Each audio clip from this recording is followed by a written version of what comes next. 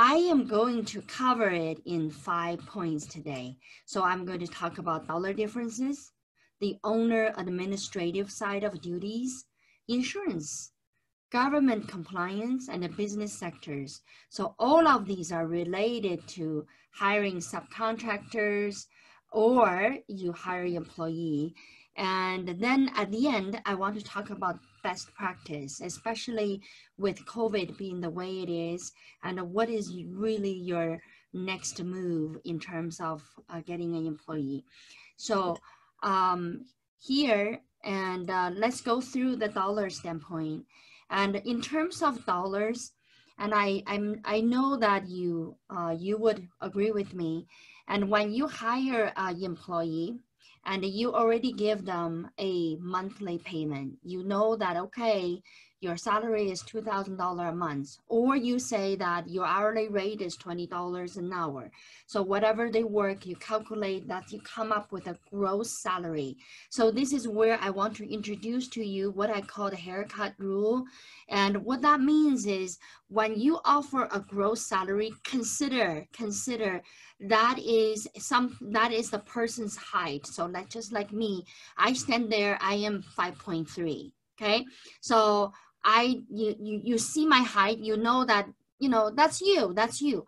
But what you did not realize it in accounting in terms of dollar amount you pay me is not 200 $2,000 it's 2,250 so I call that 25% of haircut rule. So you need to know that if I pull my hair up I am taller but that much taller is actually the 25% where um, you need to pay as an employer. Okay, you hire me for 2000 back in your mind, you need to think of 2,250. That's my real cost to you. Then you may ask me, well, Ying, tell me where is the $250 come from? They come from several areas. Number one, there is about 8% is coming from your Social Security Medicare employer match. So remember that's 8%. Then there is another 3 to 5%, Let's just make it a 5%. So that would be coming from your state unemployment insurance side. And then you also have workers' comp. Workers' comp normally would ask you for 3 to 25%, depends on your profession. So we're just gonna say three. So we had 8% plus five uh, plus three, so we got 16 already. Then the other the other 6%, which will make up the 25% total, it is what we call employee related benefit. For example, and you may give your employees cell phones for so they can work, they can pick up the phone. So that's your overhead. And then you may have 401k, you may have health insurance. So all of these things related to employee that come into the cost. So I call that 25% hair cutting rules and you need to know and you have that 25% height you need to add. So my real height is not 5.3, my real height is actually higher. Okay, so that is what employee would cost you. So I want you to understand the dollar difference. The subcontractors, you also agreed to pay the subcontractor for 2000 Do you have other costs? You don't and you just have that 2000 equals to 2000. So this is where from the dollar standpoint, it is very different, right? So now you ask me, oh Ying, I don't know whether I can hire employee or not. Now, you know, business is going up a little bit. I just don't know whether I'm ready or not. Why don't you know? Because whatever you have left over, and you feel like you have more jobs coming in, but you don't have people to do, you have a little profit, that profit, that profit is your gross salary of that employee. Or maybe, and you can classify that to be a subcontractor, obviously it saves your money because you don't have to pay that 25% on top of the pay, right? So it is always a tendency for a small business owner to think of hiring subcontractors than hiring employee. And I will cover that later in my other point because not is it is not something that you can do whatever you want or just based on the dollars. So the other the other aspect is number two of the five. It is administration from this standpoint.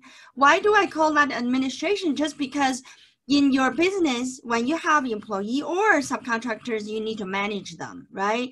So you that is a burden for you. For 1099 subcontractors, and you are paying by their jobs, not by their time.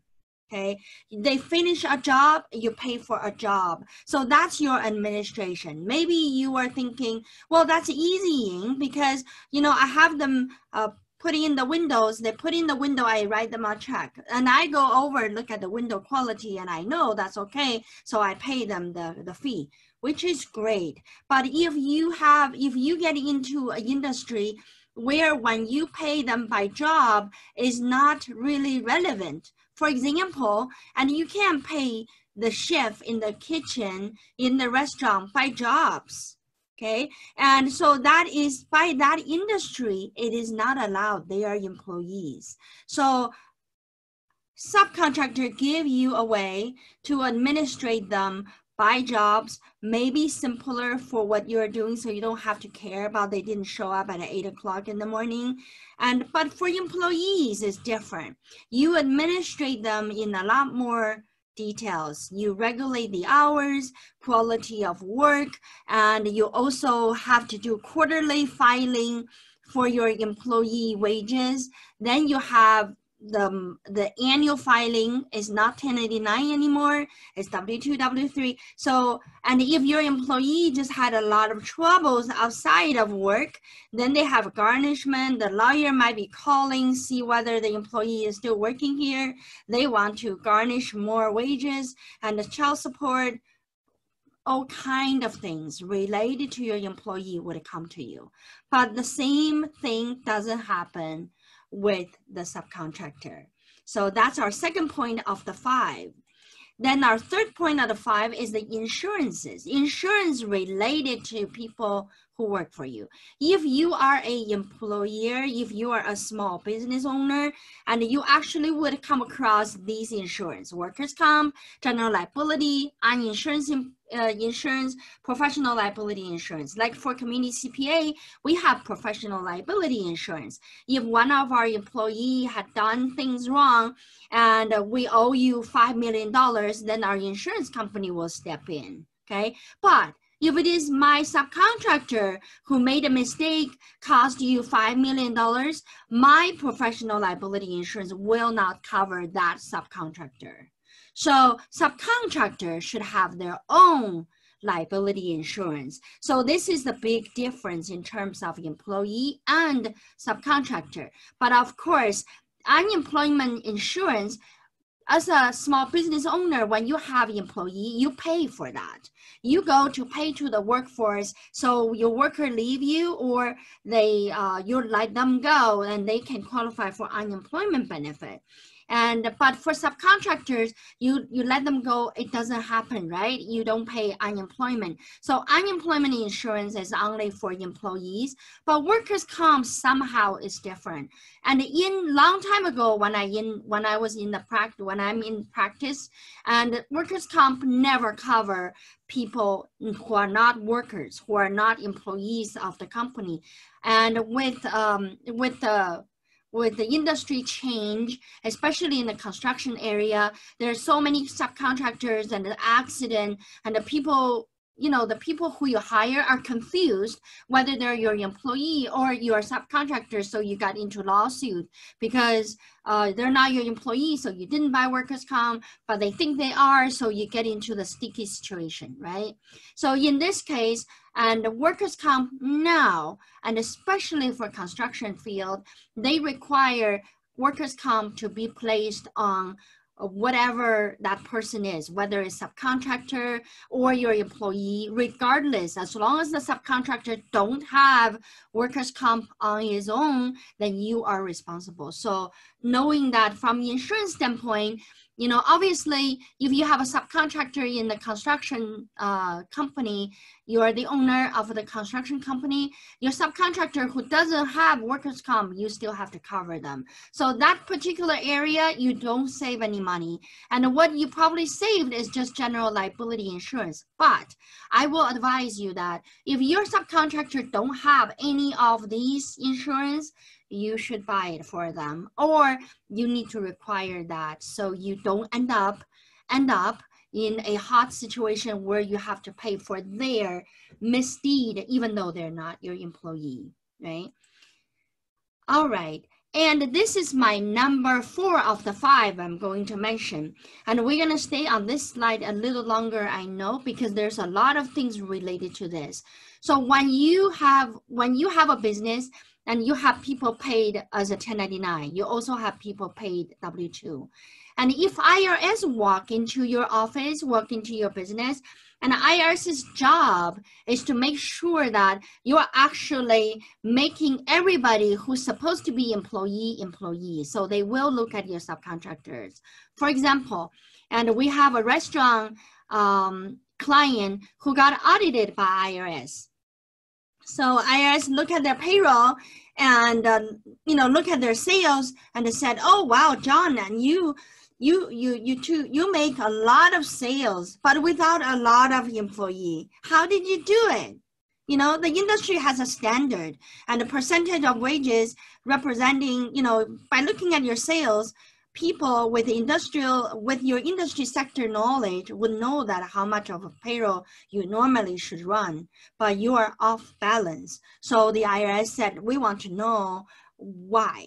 And either um, either you show them that well you know we're just efficient because we're a fast food area. We don't really have a lot of people need to weighing and you know um, standing to wait for client whatever reason you find. But they go through your ledgers. They go, oh wow, John, you paid all these people, and uh, you pull up, you you you know you classify them as a subcontractor. Why?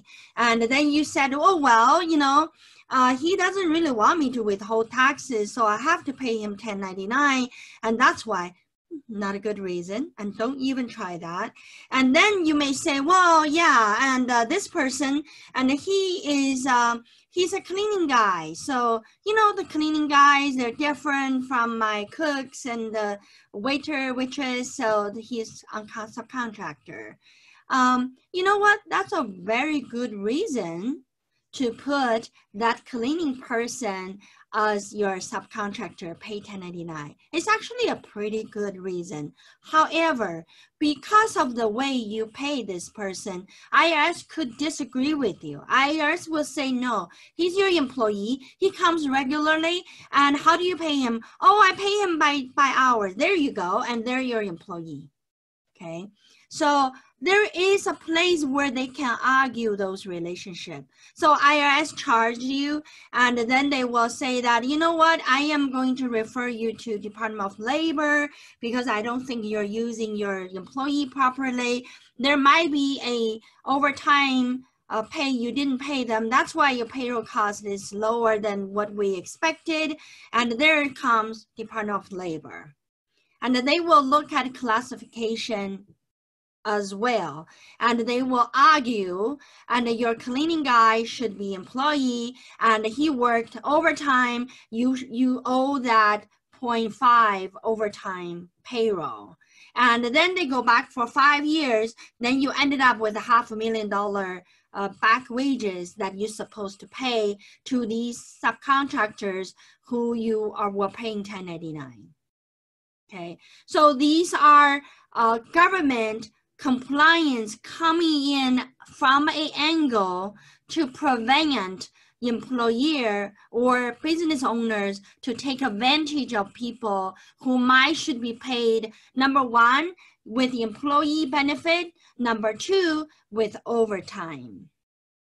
Okay then what is the state workforce development here is for? State workforce development is the same is the same way in terms of your worker and your relationship.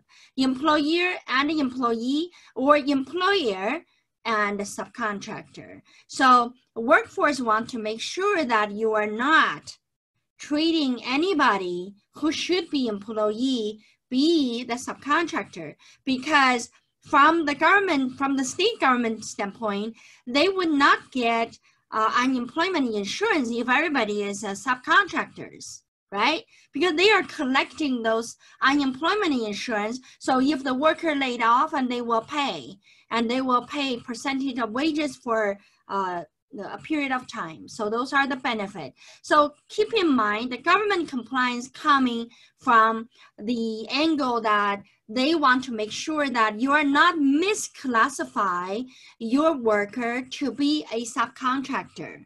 And does the other way around happens? Do they come to see your employee goes, oh, that employee looks like a subcontractor? Never.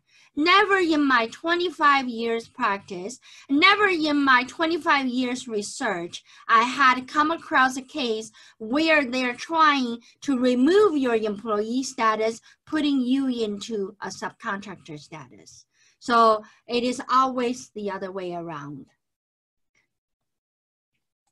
Now, from the last standpoint, we are talking about subcontractor versus employee. That is from business sector standpoint because business uh, has a model. Every business has a model. For example, if you're a restaurant, uh, how far apart you can be from the other restaurant. You have a model. You have chef, you have waitress, and you have uh, the office manager or the restaurant manager. You have the owner. So the model of hierarchy is already there. So in the retail world for a restaurant, and you should never have your chef be the subcontractor. And are you going to make your cleaning person subcontractor? And one thing I would give you a tip here that may help you to move them to subcontractor properly, which is to have your cleaning person form their own company, have your cleaning person and have their own insurance and charge you by jobs. If they can do that, and you legitimately and writing a check to the cleaning company, one, two, three, and payment. So when IRS walks into your office, start looking at your checkbooks and the ledgers, and they will not find John Smith's name on there. Because as soon as a person's name is on there, it looks suspicious. Okay, so that's the that's where we say the business sector already said that the chef is not a subcontractor, and you uh, should not have subcontractors working on jobs that a employee should do. Okay, and what about retail of merchandise retailer? For example, um, you know, Home Depot, Menard, those kind of merchandise retailer. And the people who are running on the floor, and when you have questions, they come to answer your question, they cannot be subcontractor. They are employees. But the Menard also when you when you buy lumbers and they have a list of uh, people that you can call so these people can help you work uh, you know, put your numbers into certain ways so to get your work done. And you get those resources from Menard and those list of people, they are not their employees, they are the subcontractors. But they may not be subcontractors from Menard because they have their own um, business identity. So you can write check directly to those subcontractor. But it is also okay if Menard just have you pay to them and they then pass that money to the subcontractor because those subcontractor would have EIN number, business name, and they would have their insurance. I am pretty sure Menard would already vetted through those uh, credentials to make sure they're covered, they're covered, and they're covered. Okay, so those are the things uh, the retail merchandise uh, would do. And then what about personal service kind of retail, like hair salon, nail salon. What about, um, you know, what about CPA firms? What about law firms? No, those are also, those are kind of uh, in the personal service side. Uh, when you do that, and I, I should exclude CPA firm, law firm, I'm going to put them on the professional service. But on the personal side of service, nail salon and hair salon would be a good example. And those ones, in practice, in practice, and uh, uh, most of the state classify them, the, the, the people who work in the salon, classify them as a subcontractors. But they have a certain uh, credentials to measure that. So number one, let me give you those credentials. Number one, and they must be having their own insurance. So that would a signature of they are a separate entity, they are subcontractors. Number two, they're paid by jobs. Number three, they rent things from you. Let's say if I operate a big nail salon and I got all my furnitures in 20, uh, 20 stations. And so people can, subcontractors can come in, rent my table and work there for a day. Okay. Rent my table. My table rent is 60% of whatever you made that day. You make a dollar, give me 60 cents. So those are typical, typical subcontractor relationship. But do you have that in writing? Do you have them to sign? Did you explain to them that they're not your employee, they're your subcontractors? And so when you write that check and they don't consider that's their salary, so later on when COVID hit, they go to apply unemployment insurance under an employee of you. So those are mistakes happen a million times in the system, in the government system, because people are confused. They don't know what they are. And you need to educate them. So those kind of services, yes, you can treat them. You can have subcontractors, but you must have these information, these contract, those credential uh, met in order to move them to a uh, to be a subcontractor. But of course, in that nail salon example I give you, and somebody has to be an employee. You cannot be subcontractor all over. So there must be an office manager are paid by salary or paid by wages, whatever, however you want to pay them, so they can manage that, right? So those are the, the model, the business model for retailer of personal services. Then what about a CPA firm? And a CPA firm, professional service firm, and everything we do has a risk, right? So, you know, you may be you may be a lawyer and you have two, three other lawyers to work together and you formed this partnership, you know, five lawyers under one roof and call that ABCDE law firm. And that law firm itself because you are all owners of the company so you you don't treat yourself as a subcontractor but any other lawyers you hire and if you want to treat them as your subcontractor and you must have that subcontractor relationship so they are getting jobs from you and they go out to work their comp they work there under their name if you want to use ABCDE as your law firm name, that just means that this whole law firm need to have one professional service and the lawyers underneath this firm, because it's covered under that insurance, it will be employee of your company. So you know, typically in a CPA firm, no one is subcontractor. Everyone is bounded by same professional standards that uh, developed by the firm. They are all insured by the firm, and everything is um, unified. So there is no individual risk.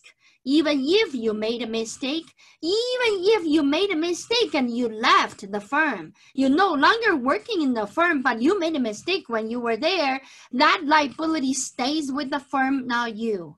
So that is why you, the professional employees are employees, they're not subcontractor. You can imagine how important that is. Otherwise, your subcontractors, you left the firm and later on something went wrong, it chased you all the way home. Right? So professional service. Then construction is a big area where you could say that yes, it's employee, yes, can be a subcontractor. It's sort of more flexible. It is not more flexible.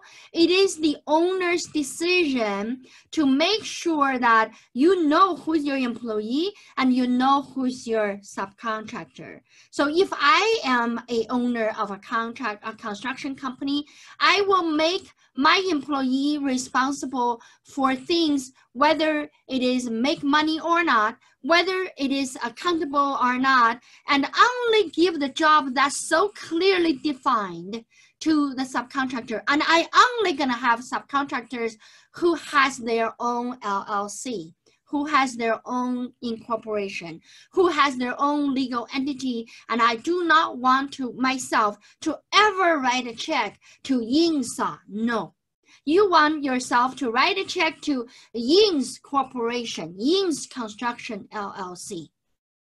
And to do that, that kind of lead us into the best practice. So with COVID, many, many things are changing because when COVID hit us in March, and I know you know that some of the subcontractors and uh, kind of regret, oh, why am I subcontractor? I cannot get anything. If I am an employee, I can get UI, I can get all kind of benefit. And even for business owners, if we had employee, we can have PPP, we can have EIDL loan, and where the grant part come in, remember $1,000 for each employee. So as an employer, as a business owner, and we, we kind of see that those people who hired only subcontractors, too bad, so sad, they cannot have PPP. But the one with employee, they get into those kind of benefit. And the subcontractors later on, when the COVID got worse, uh, Congress start realizing that is a much bigger problem than what they think is going to finish in one day. Or maybe you you drink some sanitation fluid it will be cured. It's not like that. So suddenly um, they they developed more things for subcontractors right? So later on subcontractor went on to website and start applying for unemployment benefit and they were uh, available as well. So those subcontractors some of them some of them were so confused when they applied for their benefit, they wrote into as an employee. They did not understand that then the, they themselves is a business. So the best practice out of the out of the turmoil we have with this COVID-19, the best practice is that one, you, when you hire a subcontractors, you want to develop this document to make sure that they understand they are subcontractors. They're measured by result. They're measured by, quantity of work they did and just really not measured by time because we don't care how much time they spend. We just care about the result, right? And you also want, this is the best practice advice I give you. You want every of your subcontractors to have a LLC. I don't even care whether the LLC's name is Yingsa LLC. That is fine. Yingsa LLC is not Yingsa. Okay, I have my own social security number, but my Yingsa LLC has its own EIN number. That is all what I care. I want that identity because when you write me a check, you no longer say Yingsa. You write Yingsa LLC. It is good for me because it is my business income. So I can qualify because I pay myself a salary. So my draw is my salary. So I can go for PPP loan application myself because I am a business myself. It is good for you because on your ledger, you no longer have someone's name on there looks like employee. You have a company name on your ledger. And when DOL or IRS or state workforce come around to look at your checkbook, they're not going to look at Yingsa's name goes, she should be your employee because they realize it's a company's name.